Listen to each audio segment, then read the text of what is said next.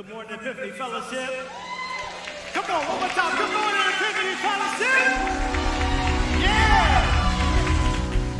Y'all excited to be here today? Come on, y'all say, come on, y'all be getting a little louder today. You excited to be here today?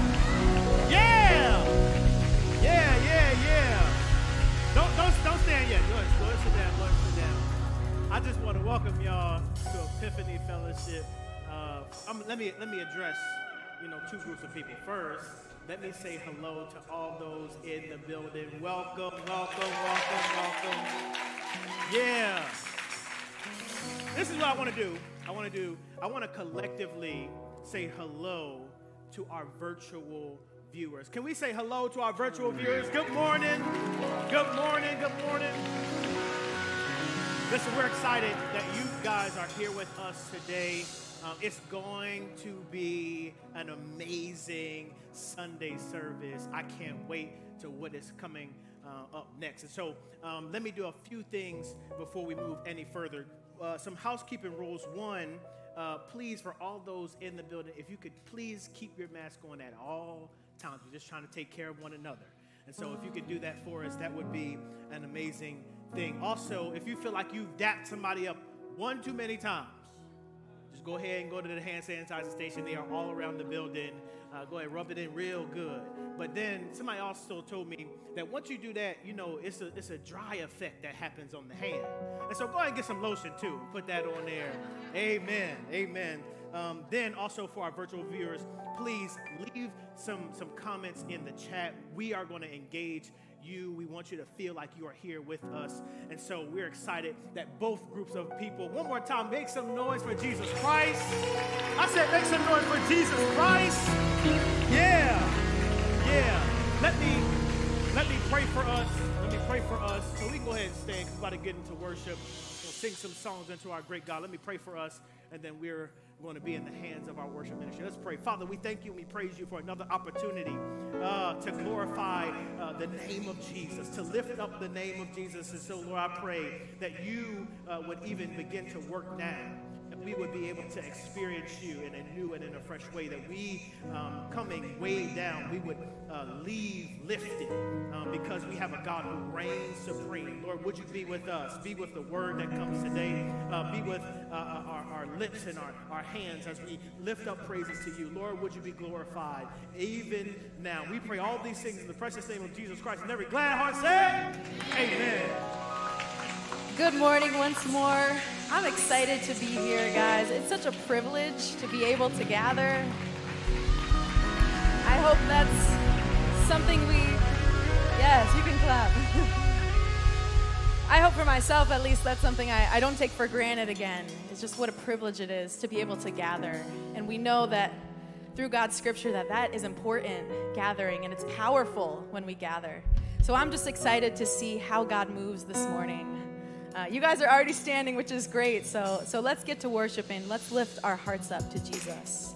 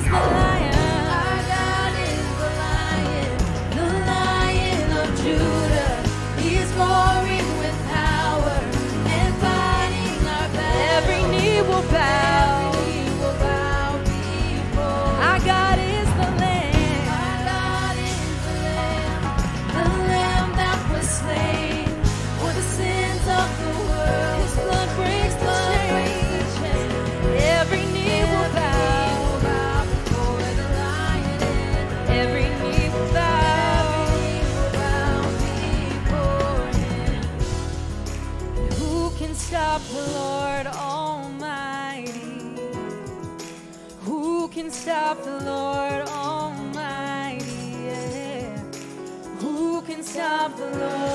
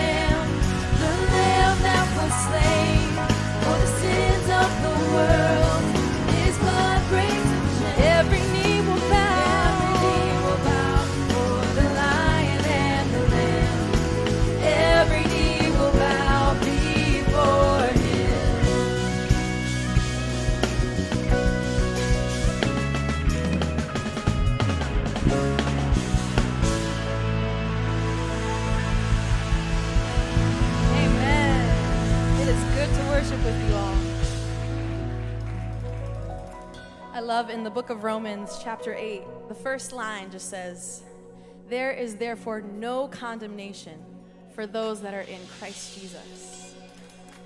And that's a line that I know many of us have heard a lot, but it's a line that I know I need every day just to remind myself that Jesus has paid the debt in full.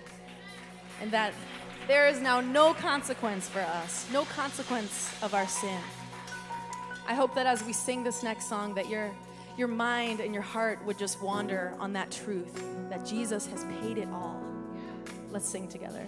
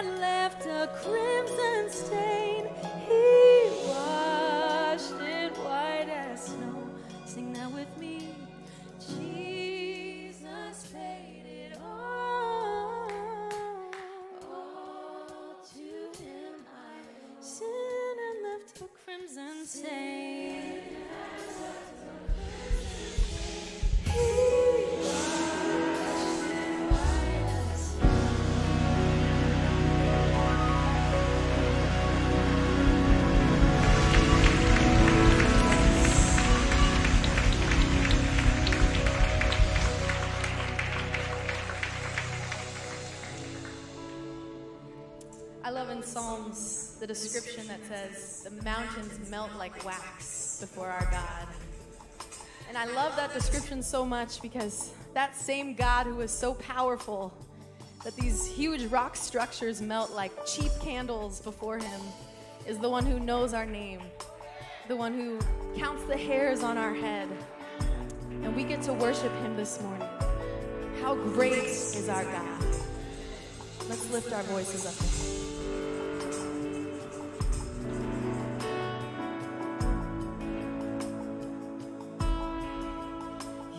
Give life,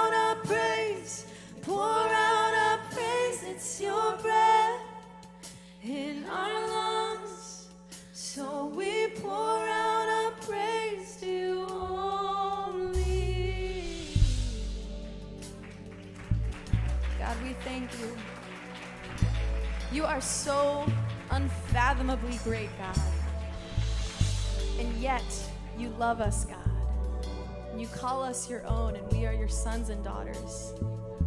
God, we thank you that we get to serve you. Pray that you would use this morning in a mighty way, God. That you would move in our hearts and, and stir in our hearts, God. We love you so much. And we ask all these things in your name.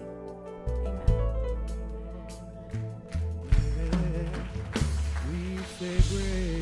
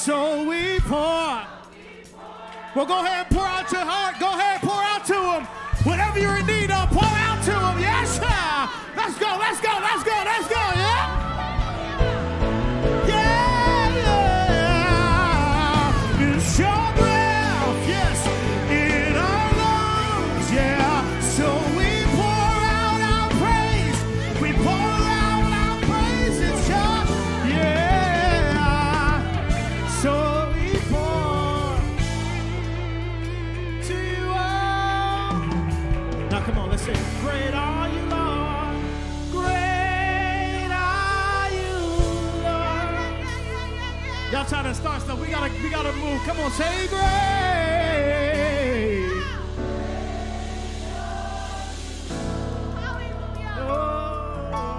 He is indeed great. Come on, if you know He's great, can you just make some noise? Come on, can we speak well of our God to the great God, to the one who sits upon the throne, who never ceases to reign and rule? Come on, He's great. He's great.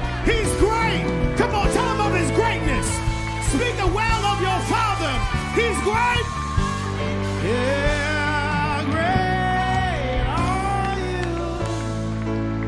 Yeah and all the earth will shout. oh, we got all hearts will. I'm sorry, it feels real good. These bones will sing. It'll say, Great. Ah. I don't want to get tired, so I'm gonna keep it moving. Earth will shout.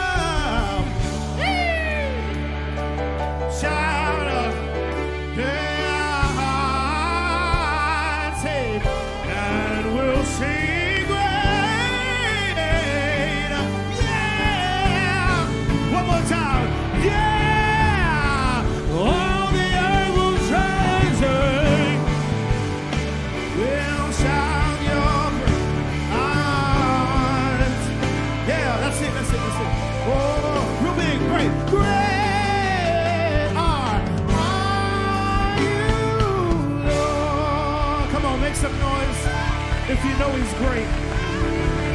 If you experience Him being great, we'll, go ahead and say, I'm done, I'm done. Sit, sit, sit, sit. That's it, that's it. That's it. That's it. Have a seat, have a seat, have a seat. Indeed, our God, indeed, our God, indeed, our God is great. Yeah.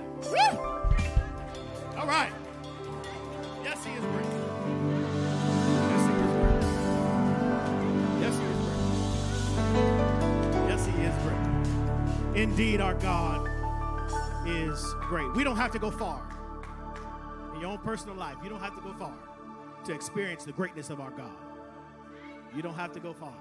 But if, if at any time, if at any time you feel discouraged, we can look throughout Scripture how great our God is. Moses testifies about his greatness. Abraham testifies about his greatness. Paul testifies about his greatness.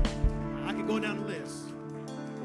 But the beautiful part is we can testify about his greatness. So we say thank you. Well, this is the opportunity where we can show how great he is and how he provides for us oh so often. And so we're going to just look through some scriptures as we give today with a joyful heart. Let's look together. Who is the owner of all things?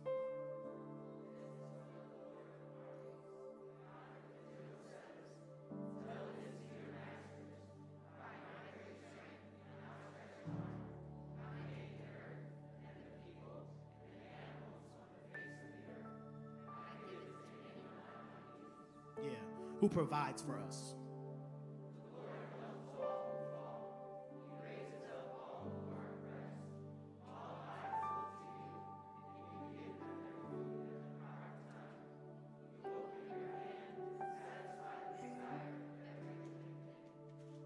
Who are we? Uh, how are we to respond?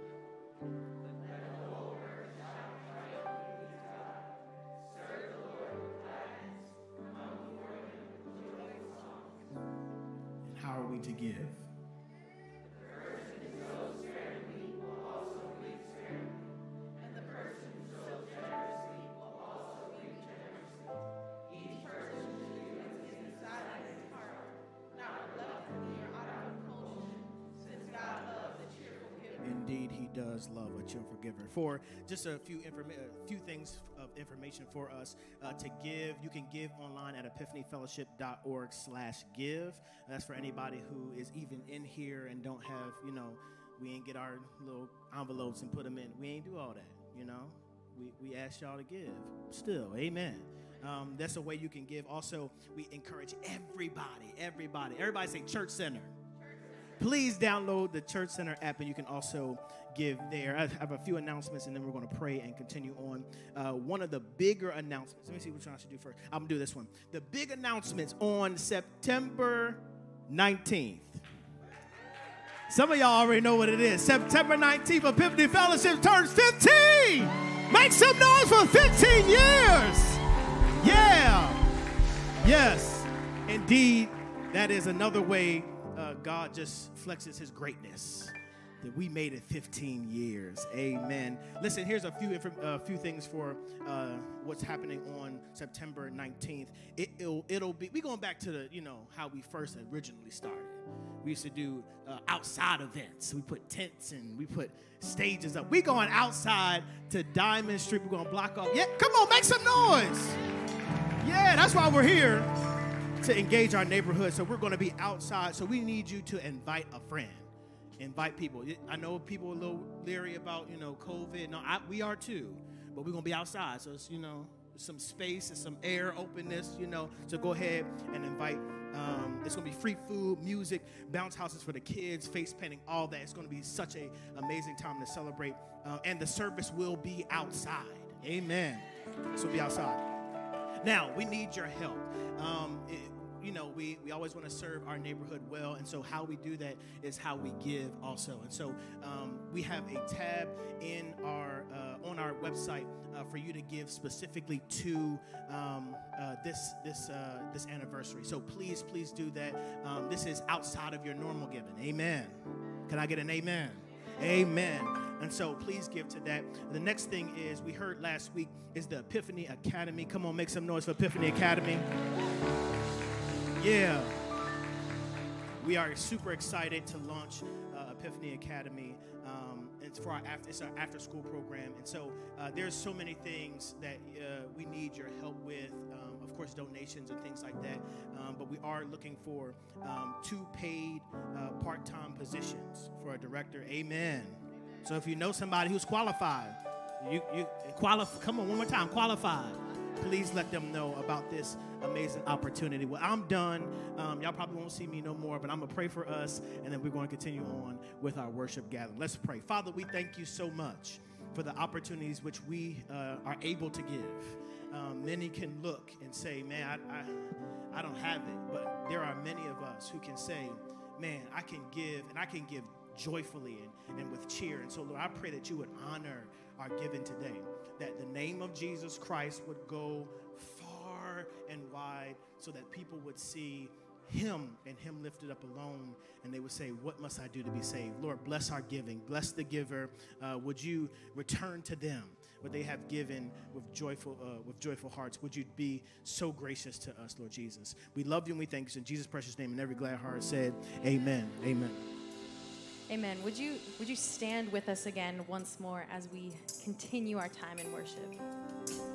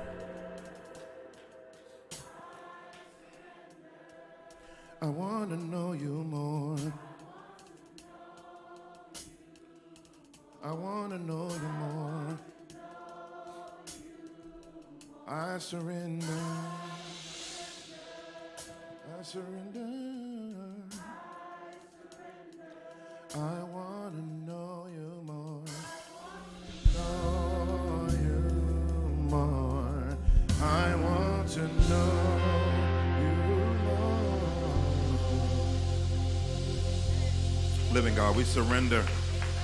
We surrender it all. We surrender our burdens to you. The word says, Cast your cares upon you because you care for us.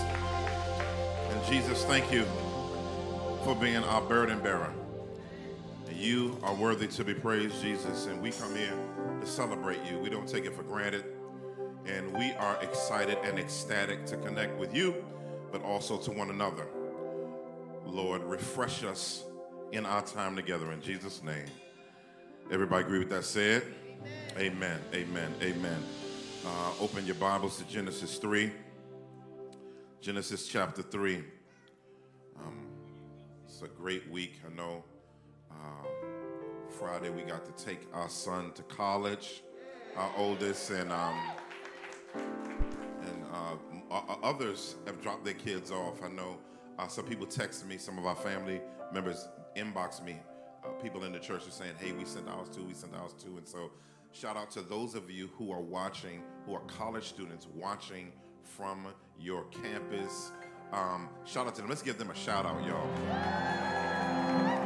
My son just texted me. I said, "You watching, boy?" He said, "Yes."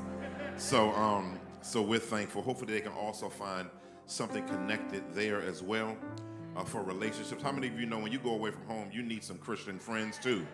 I mean, you need somebody to keep you out of trouble. You know, some of us left home to get in trouble. Oh, y'all ain't gonna, I'm preaching, y'all know I'm preaching already. You got out the house because you ain't want no structure, nobody, you wanted to see what it was like to just act a fool. And, um, you know, praise God for those who are still tuning in. Who you're saying, I still want to hear from Jesus, even though I'm away from my parents. Amen. Amen. Blessings to you. Genesis 3, 1 through 7. Genesis 3, 1 through 7. Uh, 1, 2, 3, read.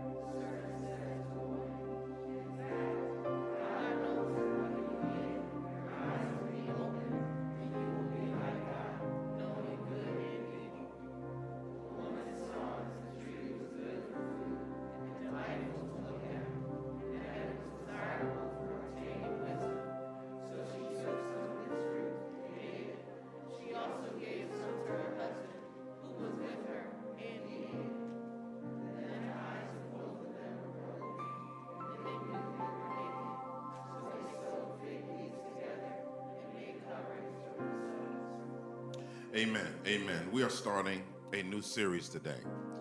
This new series is called Deconstructing Your Faith. Deconstructing Your Faith. Um, I'll talk a little bit about why we're doing this series, but this is the series intro today. Father, you are um, not surprised by us not surprised about our decision making skills, um, our craftiness or lack thereof. And with all of our quirks and frailties, you still are in hot pursuit of us. And God, I'm believing in this series that you're in hot pursuit of some people that are having a crisis in faith, um, that are having a crisis of identity, significance, and purpose. And God, I am begging you um, to throw your weight around and help them to know that you haven't forgotten about them. Help them to know that you're not scared of their questions. You're not you're, you're not depressed by their doubt. Um, but God, you are committed to them more than they can ever think. And Lord God, teach us as the church how to love doubters. Help us to learn how to love even haters of you and the church. Lord God, teach us the law of love. It's a hard lesson to learn to love who you don't want to love. Um, but God, the church needs to learn in this era how to be better lovers of people who, for many reasons, don't understand because we've done a poor job. So, Lord, let the words of my mouth and the meditations of my heart be acceptable in your sight, O God, our strength and Redeemer, in whom we trust. In Jesus' name, amen. Today I'm talking about what is deconstructing faith. Um, I, to be honest, I, I usually develop my in my preaching calendar usually about 24 months. Uh, I usually try to pray, get with God in some way, shape, or form, and really develop a, um, a 24 month preaching calendar. I like to kind of know where we're going, but every now and then the Holy Ghost will throw an audible. The plans of a man, man's heart plans his way, but the Lord orders his steps, right? And um, and and as we were about to embark on a series, as I was coming back from sabbatical, I started j- jumping back into social media a little bit just to kind of get a feel for things, and then listening over the years of what I've heard people say, and some videos came up, and interestingly enough, the Holy Spirit, I was dri- I think I was driving to get my kids some donuts, and I stopped the car because too much information was coming to me, and I just pulled out my notepad on my phone and just wrote out the series and that's how I knew it was the Holy Spirit. And and and and I was like, I don't know how my media team. I know they frustrated probably with me, but we're gonna figure this out because we need to do this series. Um, and I, and I am not trying to over you know hype the, the the you know how you can over you know the Holy Ghost gave it to me and I felt it and I know it's the season time that you hear this word today. Somebody under the sound of my voices, you know, I know y'all like all that, you know. And that, that actually kind of is true. You know, somebody under the sound of my voice, God's going to let you loose during this series. No, God, oh, God. And listen, listen, if I was in the Pentecostal, I'd say, put some sanitizer in your hand and touch your neighbor and say, But, um, you know, um, I think this series is important for many reasons because it's nothing new. Faith deconstruct. We just, you know, this generation, what I love about y'all is y'all got categories and terms for stuff that people have been dealing with and y'all think is new because you got a category that you never heard of before that you're saying now, but it's been happening for millennia. Faith deconstruction is nothing new, but I do think that you all are dealing with something in this generation that's never been done and experienced in any other generation. And that's the way information is passed the way information is passed and packaged and disseminated in volume, the level of volume with the devil. You, I mean, ain't nothing like volume and the devil together. That's a potent combination for influence. right? And so, and so today, and all of it, and let me say this, de- all deconstruction ain't the devil. And I'm gonna talk to you about there is a such thing as good deconstruction. When we talk about this idea of deconstructing faith, I've been seeing different people saying, you know, I've left the Christian faith, I'm, I'm, I'm evaluating my faith, you know, I, I'm backing up. And I'll talk about some of those categories. And I want y'all to be patient with me because this is a series, unlike others, where I'm learning in the process. Okay? So I want you to be, can y'all be patient with me?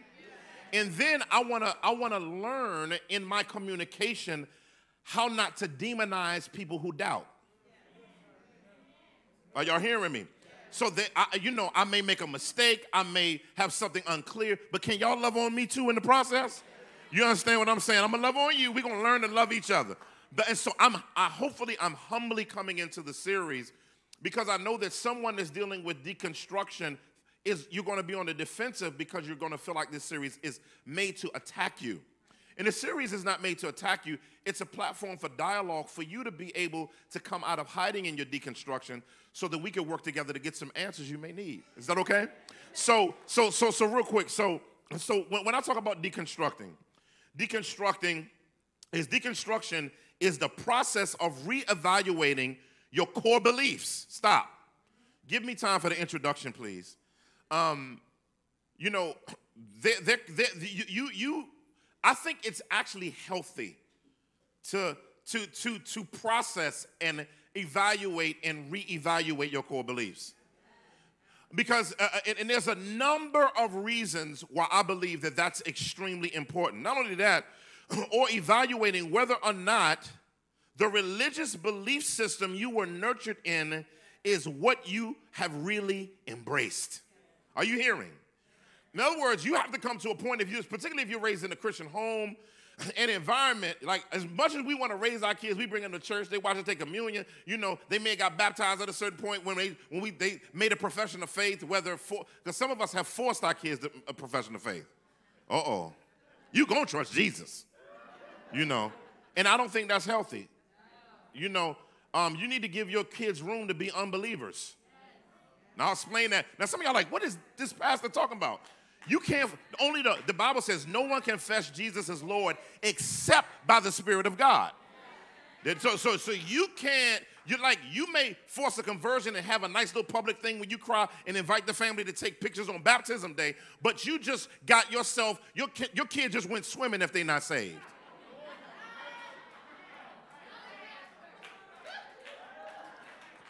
You understand? And so it's very important. As much as we want our kids to get saved, we have to pray for them, give them room, and plant seeds. That don't mean I would just see this is the, the demonic thing. Just let them figure out what they want to be. That's nowhere in God's kingdom. Bible says train them up in the way that they should go, and when they get old, they should not depart from it. In other words, it's your job to be a scatterer of seeds in both life and lips. See, some of us got lips. But the main thing our kids remember is our life. Okay? And so, and so, but everybody comes to this point, particularly if you grew up in the faith. I gotta move. Um, deconstruction isn't new, it has become more complex and extensive, I'd say. So, why is deconstruction necessary? Y'all tracking with me? Number one, so that you can own the faith for yourself. So that you can own, please be patient with me. This is a long introduction, but I have to do this for those who don't understand. Y'all with me? So that you can own your faith yourself. Number two, to find out what you really believe. Listen, it's a lot of people under the sound of my voice. I know that I preach things that are Orthodox Christian faith and you don't believe it, but you come here every Sunday because I see the post you like. It comes up in my algorithm. And it's okay. And I'm not beating you up. I'm just saying I know that there is not continuity, right? also, deconstruction is necessary to realize you may not be a Christian. And that's a gift. It's a gift to know authentically whether you're a believer or not, because then we know what we need to do. Okay? And then to start, also, deconstruction is important to start the journey of authentic faith. So, let me break this down. Y'all still with me, right? There, there's good deconstruction and there's bad deconstruction. Let's, let's break down, let, let me give you a good example of, of good, good uh, deconstruction, right? Core, core belief evaluation is what we'll call it, right? It's Frederick Douglass said it. Most, his most famous quote. This is this is he was. De- do you know the slaves were deconstructing the difference between the Christianity of the slave master and the Christianity of the Bible? They weren't stupid. I, I know that I know some of their slang sound like they were, but they were smarter than their vernacular. let, let, me let me let me let, now all of them didn't have vernacular off but it was because of the way we were educated or the lack thereof frederick douglass says this is this is one of the most famous deconstructing statements and to me one of the best ones. He says between the christianity of this land and the christianity of christ i recognize the wildest possible difference. So wide that to receive the one as good, pure, and holy is of necessity to reject the other as bad, corrupt, and wicked. To be the friend of the one is of necessity to be the enemy of the other. He says, I love the pure, peaceable, impartial Christianity of Christ. I like that one. He says, I therefore hate the corrupt slave holding, uh, holding uh, women whipping, cradle plundering, partial and hypocritical Christianity of this land. He says, Indeed, I can see no reason but the most deceitful one for calling the religions of this land Christianity. That's deconstruction at its best. Because what, did, what was he able to do?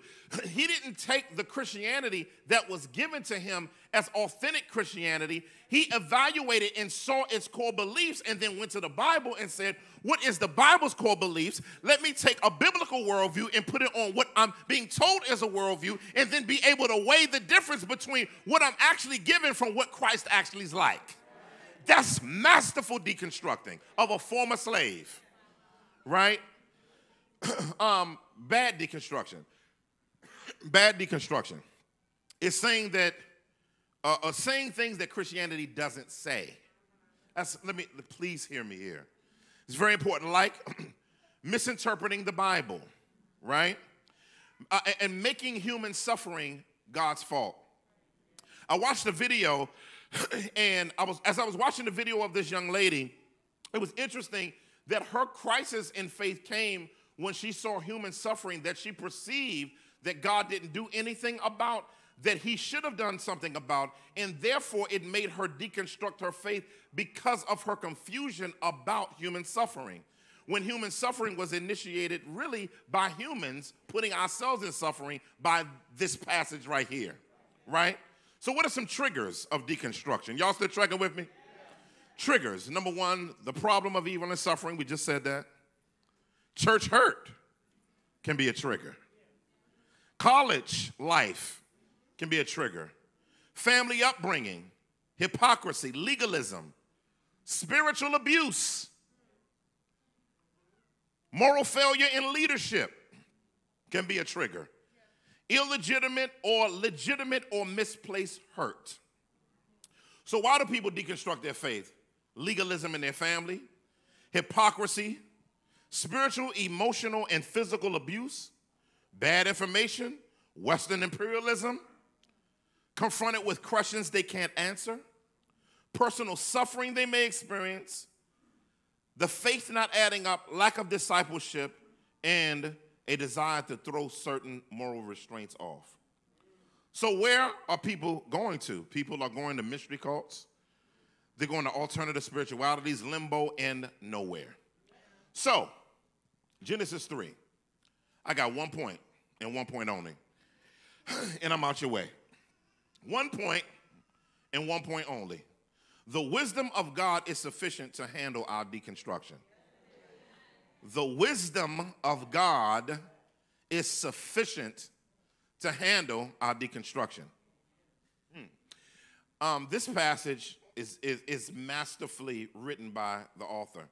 And, and, and, and, and I don't know if you know this, but so many of our series began in Genesis.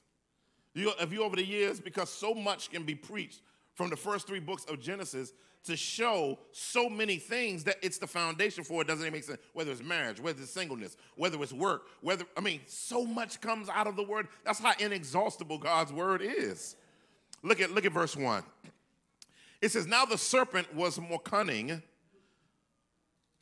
most cunning of all wild animals that the Lord God had made. He said to the woman, Did God really say you can't eat from any tree in the garden? Stop. Now, before we get to his question to the woman, let's talk about who Satan is. I think many of us have a misunderstanding of who Satan is. Most of us, you know, if you grew up like me watching Tom and Jerry, you think Satan is a red dude, dark red with horns and a pointed tail, and he's in hell waiting for you to get there so that he can do something to you. Well, let's deconstruct that. Hell belongs to God, not Satan. That's number one. Number two, oh, I'm not going to do that because that's going to. Satan is scared of hell. I'll just say it like that. Really, really scared. So he don't want, he's never been there before, and he's scared to go there. Okay? And he's not ugly. I'm explaining that from the Bible. Now, Satan ain't never been ugly, and he ain't gonna give you nothing ugly. Y'all gonna get that on the way home. Y'all gonna get that on the way home. Anyway, who's the serpent? Well, Ezekiel, you, you got to understand, in, in Ezekiel, it, it talks about the fact in Ezekiel 28 that Eden was a temple, right? Eden was the meeting place of God and man, it overlapped heaven and earth. Calling Satan a serpent here isn't actually saying that animals talked. Are y'all listening to me? One like lions is walking around like, What's up, my man? Go ahead and pet your boy. Go ahead and pet your boy. You know, no. That uh, lions just didn't bother you prior to the fall. They, they roared and did all they do, right? this is this is figurative language. You'll see Revelation call him the serpent of old, right? Now, when you look at um, Ezekiel 28 13, it says, You were in Eden, the garden of God. Every kind of precious stone covered you. Uh, carnelian, topaz, and diamond, beryl, onyx, jasper, lapis, uh, lazuli, turquoise, and emerald. Your mountings and settings were crafted in gold. They were prepared on the day you were created. You were an anointed cherub.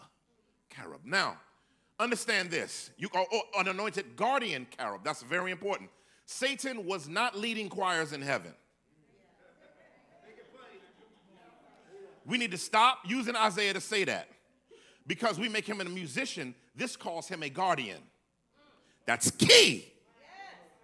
Now, what did the cherubim do? The cherubim do in Exodus when the Ark of the Covenant was erected, they covered the mercy seat. Are y'all stay? Y'all, this is all this good foundation. Y'all stay with me. And because he covered the mercy seat, he had access to God, but never saw him by his face. Because none of the heavenly host except Yahshua has ever seen God face to face. Nobody can see him face to face. Even those based on Isaiah 6 that are in his presence cover their faces in his presence while Jesus sits on the throne at the right hand of God. Stay with me so that you can understand who Satan is. Him being a guardian mean he was anointed to be a fighter. He wasn't a worship leader, he was a fighter. He guarded stuff, which means he knows military tactics. That means he knows how to put hands on somebody spiritually and naturally. That's very important. When Satan fell, which is in the next section of the chapter, is when he fell, there was no falling before the fall. You can't use Revelation 12 for that. That's post Genesis 3 in the latter period. Y'all got quiet on that part. right here, the reason why she's comfortable is because the heavenly hosts were all around.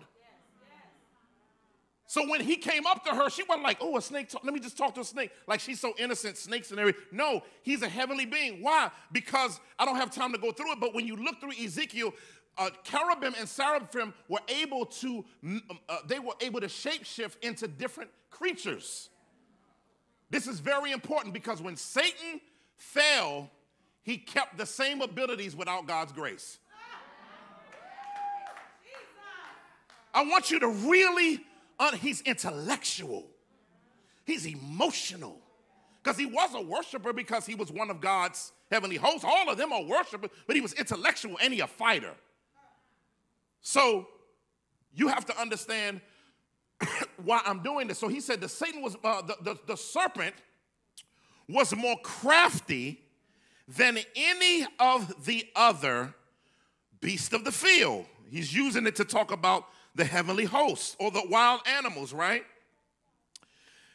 He says, in, in, in meaning he's shrewd, he's crafty, he's discerning, and he's sensible. That's why the Bible says he goes about like a roaring lion seeking who he may devour. Why? Because he's a master psychologist. Before there was a PhD in psychology, there was Satan. So I want you to understand what's happening here.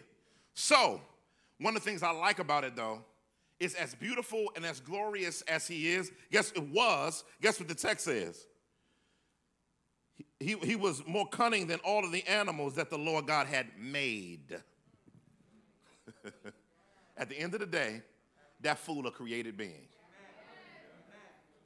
I want you to keep that in mind that a created being, a created being, although spiritual, is an eternal in, in, in a way, not eternally existing, but eternal in the fact that he can't die in the same way we can. I want you to keep all of that in mind, right? He said to the woman, this is interesting. He, and, and this is, ladies, I want y'all to hear me in the nicest way. He, he, he went out of order on purpose. He, he went to the woman, not because the woman was dumb, like people say. The man is just as dumb here as the woman. This wasn't an intellectual issue, this was a disrespect issue. Let, let, let, so, so, so, so stay with me. I want y'all to trek with me through this. I'm gonna walk as slow as I can. so, so, so in the text it says, Did God really say? Deconstruction question number one. There it is. Satan, based on uh, Ezekiel, had already deconstructed his faith because he had determined in his heart that he was going to make his throne higher than God's. And in that thought of futility and stupidity, he's using her and him as the means to get something from them that God had given to them. That's why deconstructing has to be very careful because you could be forfeiting something, talking to an enemy that really making you think you're getting something that you're actually not getting. Stay with me. Stay with me. He said, Did he really say? In other words, it's interesting that he doesn't have venom as a snake, but he has venom as a verbalizer. So, why, why is this important? Because what he wants to do is he wants you to question God. Now, what's interesting, up to Genesis to this point, it uses Lord God, Yahweh Elohim. It's interesting that in the text, in your text, when it says Yahweh, it says Lord, all caps.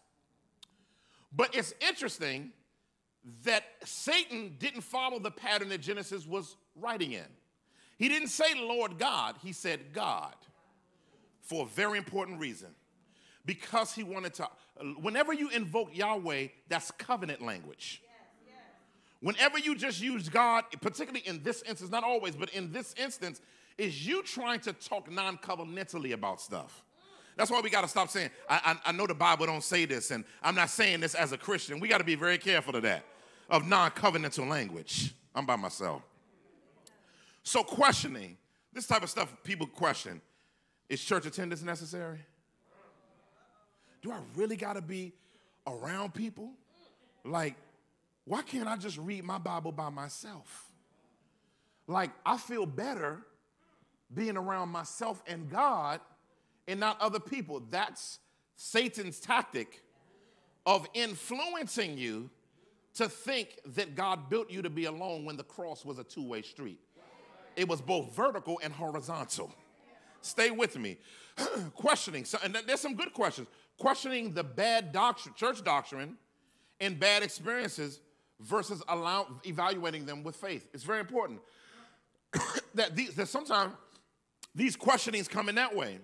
Some people say, is self study sufficient to lead into truth?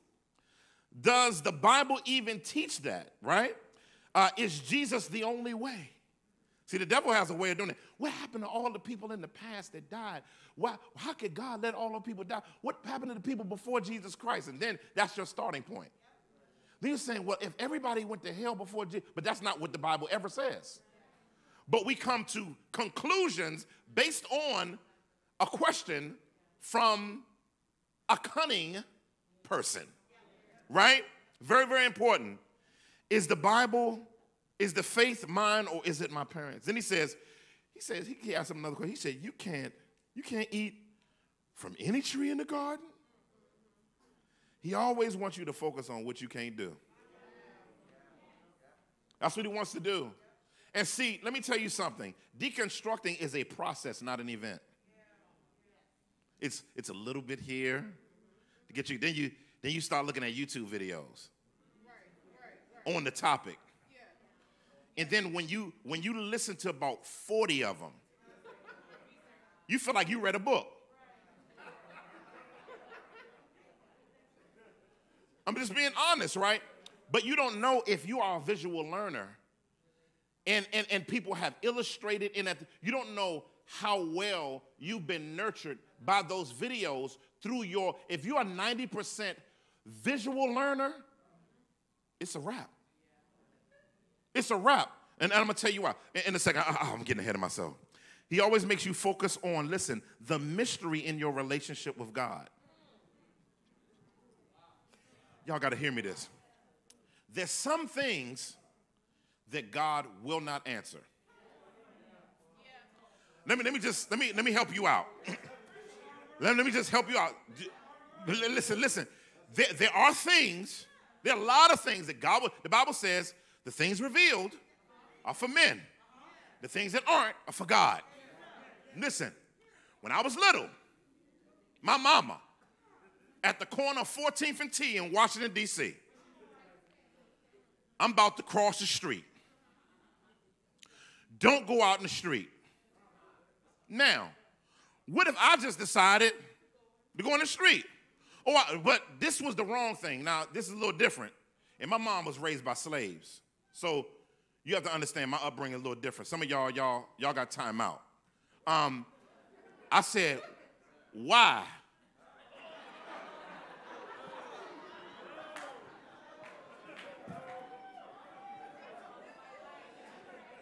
After I got up from the floor and was like wiping some pebbles off the curb, you know, came to my senses and the birds stopped going around my head. Why am I saying that? I'm not saying that because God's gonna beat you. Sometimes you don't need to know why. Can I, can I just say that?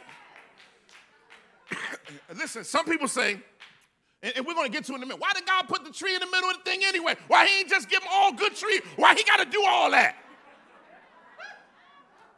Right? Right? I'm ahead of myself because he wants you to choose him without knowing why he said no. Y'all not hearing me. See, many of you are searching for why God said no. And some of our deconstruction is not intellectual, it's moral. It's moral. Why can't I have him, God? Why can't I have her, God? Why can't I do that, God? And God's like, just trust me. Listen, experience is the worst teacher. I heard somebody say the other day, eh, eh, uh, my grandmama used to say, only a fool will go to that school. But Satan, Satan is, he loves to bait you out with questions to make you folly in your thinking. Now look at verse 2. Oh God, I'm just at verse 2. Y'all still with me? The woman said to the serpent, I want you to really, really read this. We may eat from the trees in the garden. Now, know what's funny? Is that she forgot a key word. God said in chapter 216, he didn't say you can, may eat from the trees in the garden. He says you may eat freely. She removed freely because she didn't see herself as free. Because God gave a restriction. And a, and, and a lot of times, when God gives us a restriction, instead of looking at what He's given us freedom to do, we look at bondage as what He didn't give us the freedom to do. Now, now, now, now help me out, family of God. I don't know how many trees were in the Garden of Eden. Not only that, they were able to cultivate the ground of the entire planet and plant as many trees as they wanted to. And God said, You don't have to eat but just one tree, just one. You have a garden, but and I say don't do one, and you say, See how God be doing? See how why he gotta not let me have some freedom.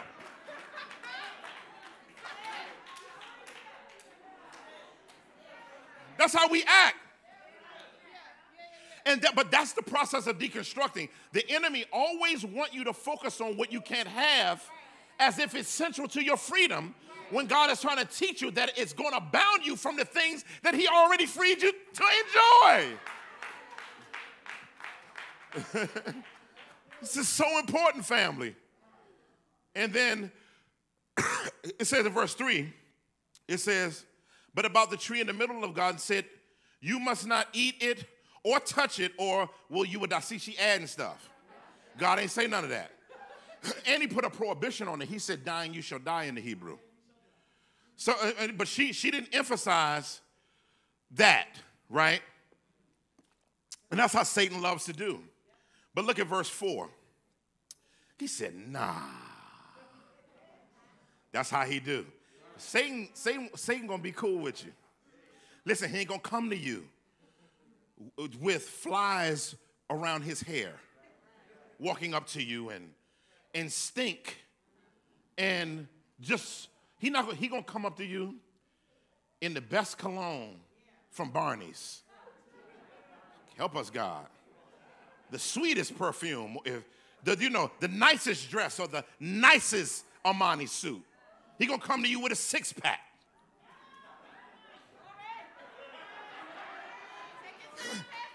He gonna come to you with a briefcase. He gonna come to you as an Instagram model.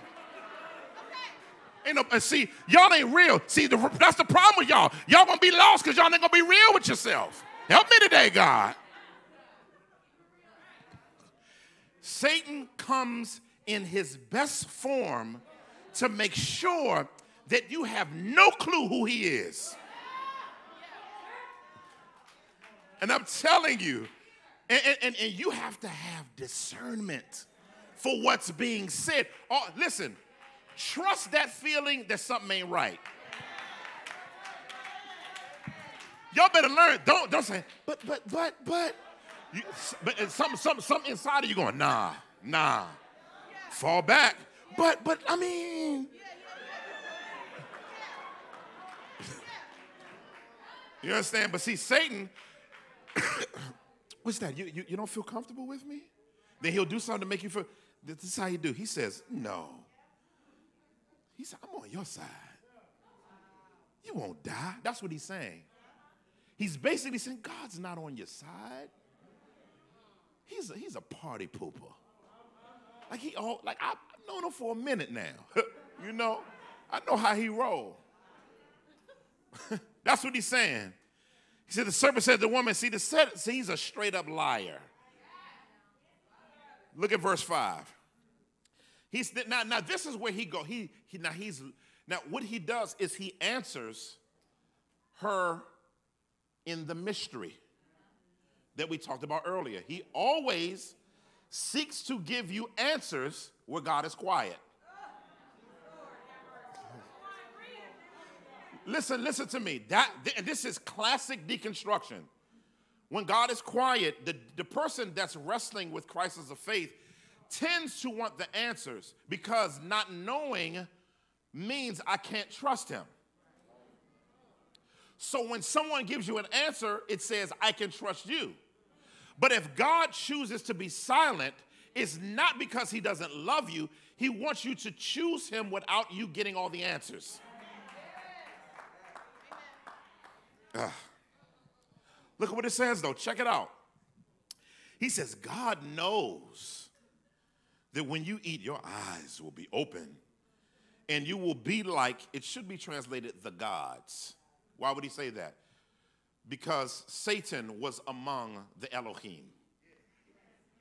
And so because he was among, he said, you, you'll be like us.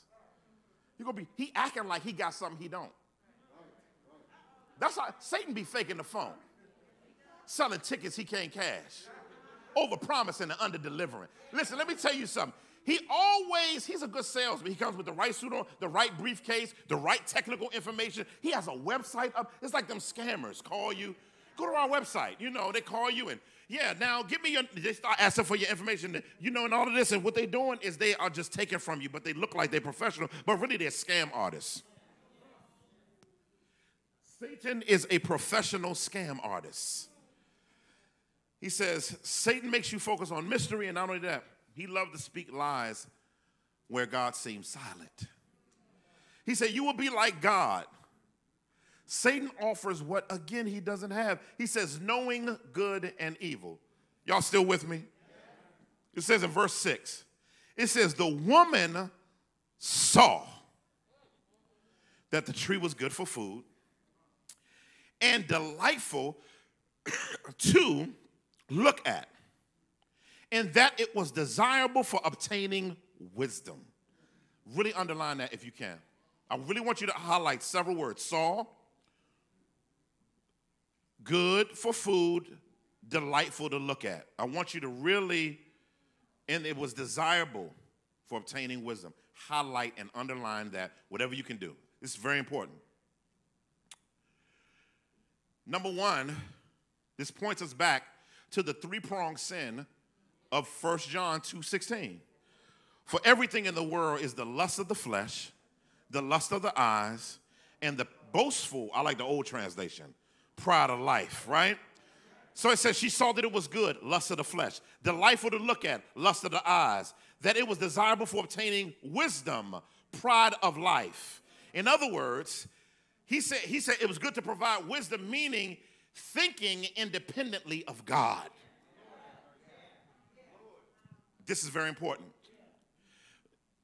Atheism, agnosticism, all those things, we don't demonize people that are there, but it's a commitment to thinking independently of God. He offered them an invitation to atheism. Atheos in the New Testament is what it's called. It means without God. Atheism doesn't just mean lack of belief in God, it means to be without Him. And so, and so when we look at this idea, uh, the book of Proverbs actually, though, stresses that the beginning of wisdom is the fear of God. So, what does that mean? He said you can get wisdom on your own. He says, no, the Bible says wisdom starts with fearing God. what does fearing God means? Fearing God means taking him seriously. That's really all it means. So that means if God doesn't give you an answer, that's wise. Somebody gonna get that on the way home. Do you really understand when, when, when, you, when God says no and you say, I'm struggling, but okay, that was wise. It's unwise for you to say, Why you didn't give me that wisdom that I wanted or that thing I wanted? And Satan says, Look, I have it over here. You go over there, he's inviting you to being stupid.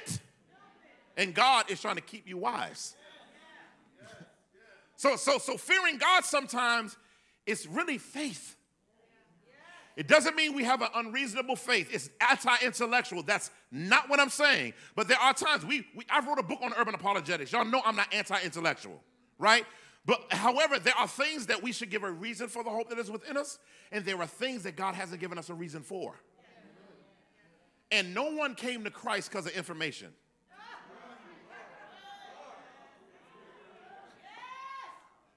Listen, listen, listen. And so this, this is very important. But let me tell you what kind of wisdom he was inviting them to. James chapter 3, verse 13 through 18. Can I read this? I feel like y'all still with me. Who among you is wise and understanding? By his good conduct, he should show that his works are done in gentleness that comes from wisdom. But if you have bitterness, bitter envy, and selfish ambition in your heart, don't boast and don't deny the truth. Such wisdom does not come down from above, but it's earthly, unspiritual, demonic. For where there is envy and selfish ambition, there is disorder in every practice. In other words, this is what the enemy is inviting her to. So fundamentally, now, uh, listen, listen, fundamentally, uh, no, uh, uh, they're, they're, they're getting knowledge without covering. You'll see in a second. And what they sought, God already had. That sometimes God didn't choose to give it to you or something. It's, and sometimes it's not that God is withholding from you, it's God doesn't feel like it's the time to give it to you or give you understanding of it. But you have to be patient in the process of your walk with God in community with others to say, God hasn't shown me yet, but I trust him that maybe someday he will. And if he doesn't, I still trust him. That's the disposition that we have to have. Now, now, now, now, now, for you all who are wrestling, we encourage you as well with that. We'll, we'll, we'll, we'll begin to end on this. So she ate the fruit, she gave it to her husband. And she gave it to her husband that was with her, it says, Then both their eyes were open and they knew they were naked. so they sewed fig leaves together and made coverings for themselves. Once you are no longer covered by God, you will constantly try to cover yourself with something. Notice the fig leaves, family, are dying covering. Soon as they pulled it off the vine, it's dying. Now, it looks like a covering at first, but the longer you have it on, the more it withers. Some of us don't realize that we are, we're covering ourselves with dying coverings. But the greatest thing I see in Genesis, these are some reflections for us. This is going to be a six week series. This is just the intro. But I want to show you the origin of deconstructing. The greatest thing I see in Genesis 3 number one, the Lord gave Adam and Eve a chance to choose what he taught them versus forcing them to follow. That's number one. God will not force you to follow. That, that's, that's not how God works, right? He gave them the room. Number two. One of the things you see also, though, that's beautiful and redemptive is later, he went looking for them in their failure. Let me, let me tell you something. Just because you're hostile towards God doesn't mean he's still not looking for you. He came to them right after they sinned. Adam, where are you? It wasn't that God didn't know where he was, he wanted to display to Adam that he knew he was lost. If God asks, Where are you? be very afraid. Not because of what he do, but be afraid of where you are. And so he goes after them. Let me tell you, if you're deconstructing your faith, God can handle it. And as a matter of fact, when you see God talking to Adam and Eve, he interacts with them, asks them questions. He doesn't say, shut up. You know how we do as parents. When a kid starts, well, I just, well, shut up. Just shut it up. Don't cry. You know, God, guess what God does? God says, What were you doing? Come here. What were you doing? And he gets that. Listen, how do I know God got down to his level? Because he showed up in a physical form and was walk and was hovering through the garden. Which means he loved them enough. He didn't come in a storm. He didn't come, ah! Where y'all at? He came down, he said, tucked his Shekinah and did like this and started hovering through the garden. He just, he just moved through the garden. Adam, where are you? Who told you you were naked? God loves you enough to talk to you like you got some sense. He love you. he love you. Listen, he can handle. He said, listen, and he, they started breaking down their deconstructing. And then he spoke redemptive to them in their follow, a fallenness. Lastly, I'm done. I'm done. This is just the introduction. I can't say everything in this sermon. Last thing. Jesus in Matthew 4 gets engaged by Satan at a weak point in his fasting to attempt the same process on him performed on Adam and Eve. Matthew 4 is Satan trying to get the incarnate God man to deconstruct his faith. He crazy. Look, listen to how he talked to Eve. Did God say? Listen to how he talked to Jesus. If you are the Son of God, he ain't come like all in the movie, you know, worms come out of his mouth and all of that. He probably had a bag of sandwiches right there, right?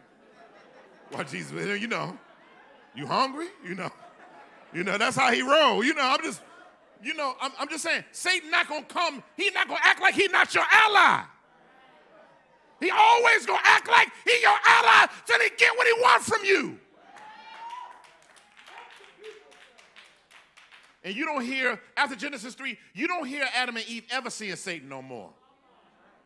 He had a one night stand spiritually with them and rolled out.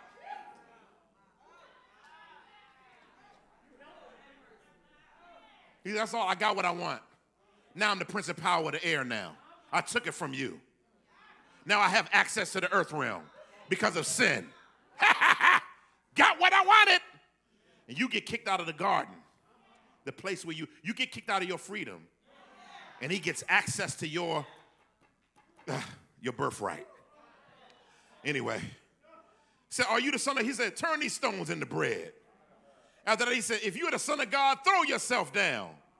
He said, I will give you all these things if you fall down and worship me. That's listen, he's trying to get him to deconstruct his faith based on being impatient with what God was going to give him. Because everything that Satan was offering, God was already going to give him on a higher level.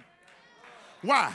Because he because he said throw he he, he asked him first turn, he said he, he said because he said turn these stones to bread well he is actually the bread of life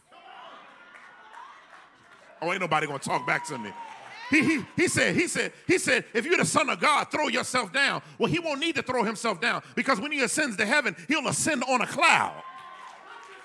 All he had to do was wait. Uh, uh, uh, he said, I will give you all the, he said, I'll give you all these things if you fall down and worship me. And the Bible says that, that, that the God the Father has bestowed upon him a name that is above every name. That at the name of Jesus, every knee shall bow and every tongue shall confess that he's Lord to the glory of the Father. Let me tell you something. Everything that Satan promises you on a temporal level, God has promised and is giving on an eternal level.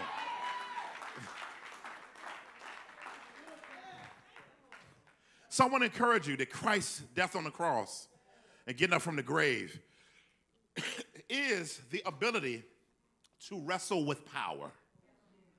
I want to encourage you as we go through this series, we're going to talk about so many different things.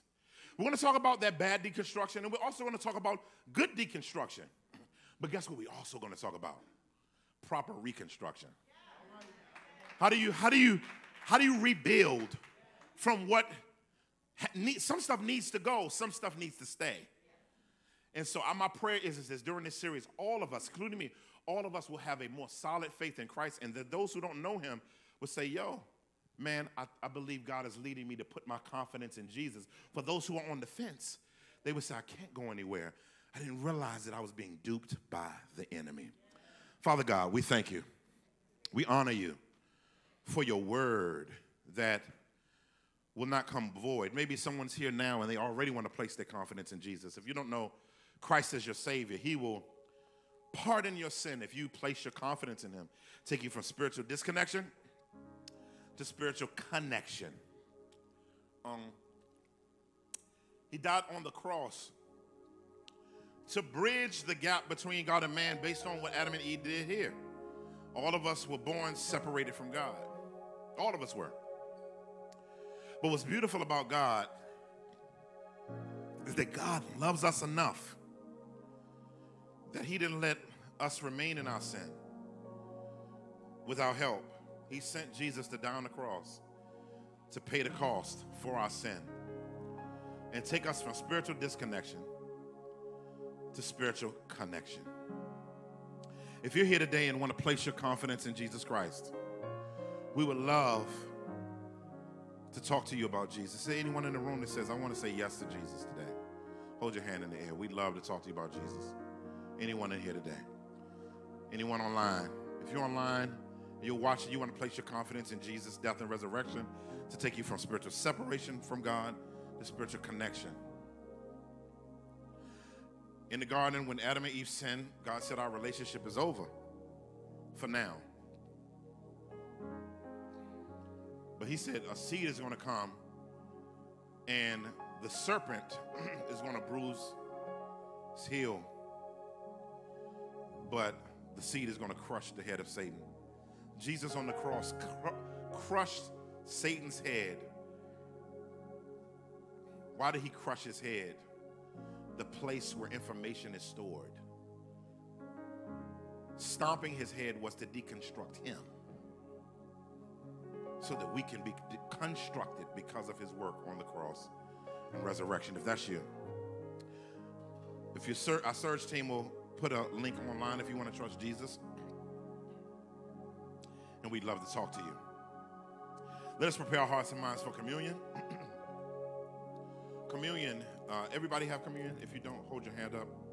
They gave it at the door, but if you don't have it and you are a believer in Christ and you want to participate in communion, got one person right here up front.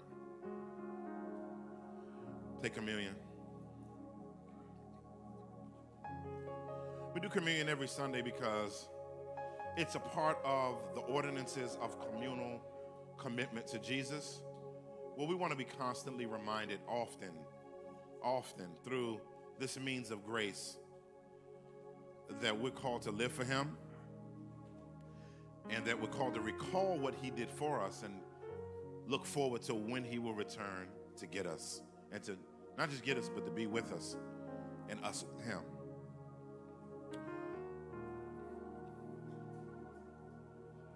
On the night that Jesus was betrayed,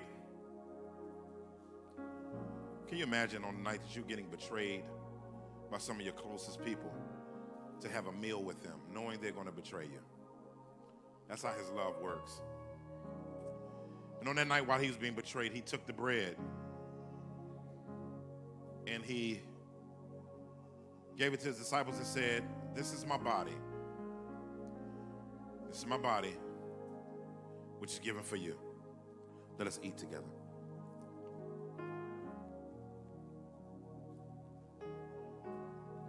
After the Passover meal of the lamb and the bitter herbs, he took the cup and blessed it.